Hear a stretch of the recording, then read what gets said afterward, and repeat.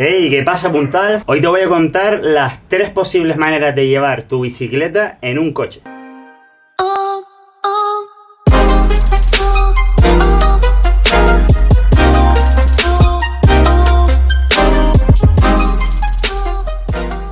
Si tienes bici y estás empezando ahora mismo en el mundo del mountain bike o bicicleta de carretera, te estarás comiendo un poquito la cabeza sobre cómo llevar tu bicicleta en un coche. Aprovecho que me acaban de dar este Cupra de 300 caballos para contarte los tres tipos de maneras de llevar la bicicleta en tu coche. En mi coche anterior, pues lo que tenía era una bola en la parte trasera del coche en la cual ponía una especie de carrito que quedaba suspendido. Como ventaja principal de llevar la bicicleta atrás, pues tenemos que si vienes un día a lo mejor y estás embarrado o mojado y la bicicleta también, no vas a manchar la parte de dentro del coche. Otra parte interesante es que al ponerle la bola, pues también después vamos a poder llevar otro tipo de carritos como por ejemplo para llevar una moto de motocross o de enduro o una Zodiac, yo que sé, cualquier cosa. También es muy útil ya que dejamos todo el interior del coche libre para, por ejemplo, hacer remontes. Imagínate que van cuatro o cinco colegas a hacer descenso, atrapa las bicicletas y dentro pueden ir las personas. En este formato, comparativamente con llevar en el techo, digamos, no tienes problemas eh, al pasar en algún parking de estos interiores, como por ejemplo si estás pasando por un bosque y la salida de la ruta es por ahí porque vas haciendo 4x4 con el bicho este, pues entonces no tienes peligro de que te roce la bicicleta en el árbol o en el garaje. Como desventaja, pues la verdad que tenemos varias. Creo que llevar las bicicletas atrás en una bola es el formato más caro de los tres que te voy a presentar hoy, ya que la instalación de la bola requiere, aparte de la bola en sí, probablemente tendrás que modificar el parachoques del propio coche y también tendrás que añadirle una especie de centralita propia para que las luces de este carrito vayan acordes con las luces del coche. Por lo tanto, por precio es la opción menos recomendable. También está más al alcance de la mano de los ladrones. El coche se te vuelve mucho más largo, por lo que no podrás encontrar tan fácilmente aparcamiento. Si tienes un coche moderno como este que tiene una cámara de estas 360 en el cual al aparcar vas a ver alrededor de todo el coche, si tienes un carrito en la parte de atrás, pues ya dejamos inutilizado ese sistema, por lo tanto no nos va a ayudar el sistema a la hora de aparcar. Y también, por supuesto, si no tienes esa cámara 360, pues los típicos sensores de aparcamiento de ruido,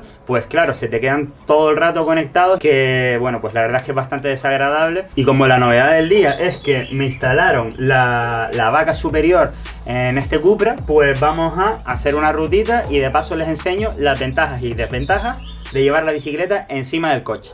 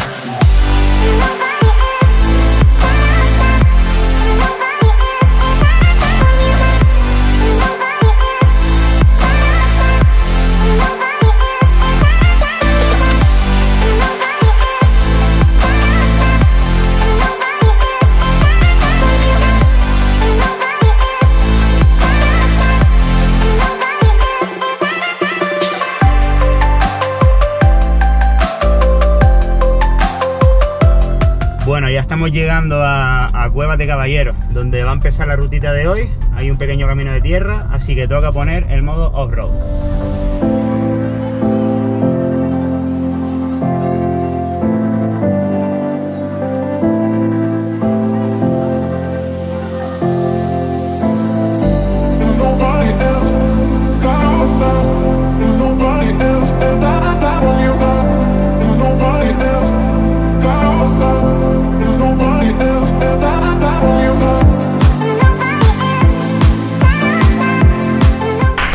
Bueno, pues ya estamos donde vamos a empezar la ruta de hoy y como te estaba comentando, eh, te voy a contar los beneficios de llevar la bicicleta encima del techo del coche. En primer lugar, no vamos a ensuciar el coche por dentro cuando viene la bicicleta embarrada o las ruedas sucias. Tenemos libre todo el maletero y los asientos para llevar las cosas de la ruta de bicicleta o para llevar pasajeros también. Por lo tanto, ser útil para hacer remontes, ya que en el techo también vamos a poder hasta, si no me equivoco, 5 bicicletas. A la hora de aparcar, en este caso, pues vamos a tener libre toda la, parte trasera, de manera que va a funcionar la cámara 360 que por ejemplo tiene este Cupra, del mismo modo que también los sensores traseros van a estar libres para poder aparcar y que nos avisen de que no nos choquemos, etcétera. Pues por otro lado, algo súper útil, a la hora de llegar en, en bici, el coche este, pues podemos abrir el portabultos tan solo pasando el pie por debajo y se abre automáticamente, con lo que ya directamente coges, te quitas el casco, dejas la botella, coges la comida y por supuesto no tienes que abrir el soporte trasero del coche, que es lo que impediría que pudieses coger todas estas cosas con facilidad. Tienes que tener en cuenta que al ser más alto el coche, pues entonces en los garajes tienes que tener cuidado de que no superes la altura máxima del garaje. Y lo mismo cuando vamos por zonas de árboles, que pueda llegar a rozar algún árbol si sueles hacer mucho todoterreno, como por ejemplo podríamos hacer con este coche ya que tiene el 4x4 con autoblocantes independientes. También llevarlo en el techo es completamente legal. La ventaja extra es que no tienes que hacer ninguna instalación eléctrica del coche, pero lo bueno de este portabicicleta del Cupra Ateca es que hay una especie de automatismo que hace que sea bastante sencillo lo que es agarrarla con fuerza a la bicicleta del alcance de la mano ya podríamos apretarlo fuertemente. Pues bueno, es hora de salir de ruta, me preparo, bajo la bici en un segundito y vamos a dar un paseo por Cueva de Caballero.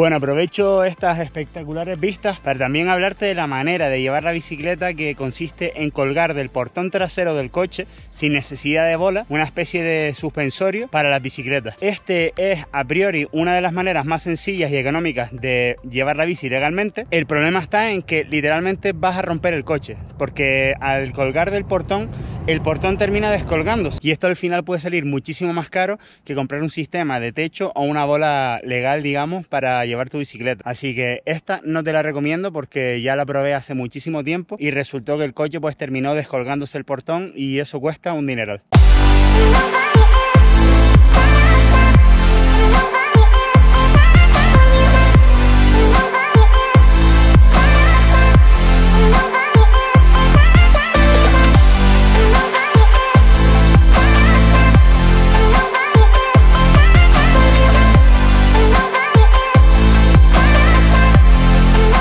Impresionante esto, ¿eh? Miren qué vista. Espectacular. Y aquí empieza la bajada. Con cuidado.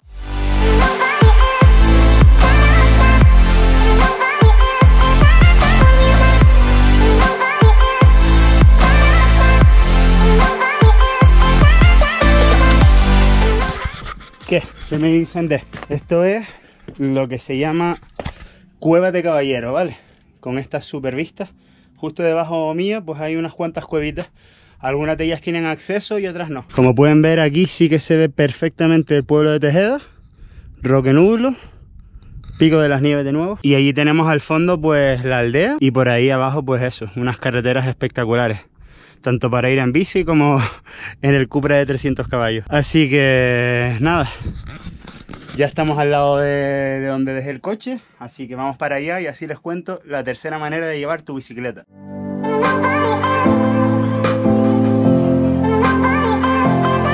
Bueno, pues la tercera manera de llevar la bicicleta en tu coche sería llevarla dentro del portabús. Esto tiene un montón de ventajas, pero una súper desventaja que hace que todo lo demás no valga de nada. Que por lo menos aquí en España es ilegal llevar la bicicleta en el asiento trasero de nuestro coche. Se supone que es porque en caso de accidente la inercia de la bicicleta pues te puede golpear a ti, al conductor o al copiloto.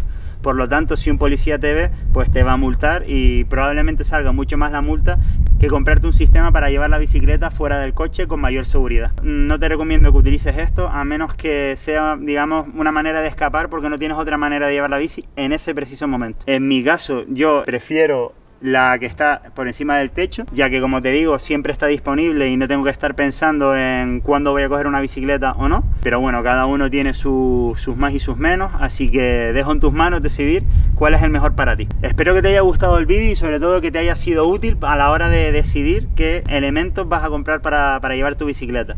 No olvides suscribirte al canal, darle like al vídeo y compartirlo con tus colegas que les pueda interesar. Hasta la próxima, puntal.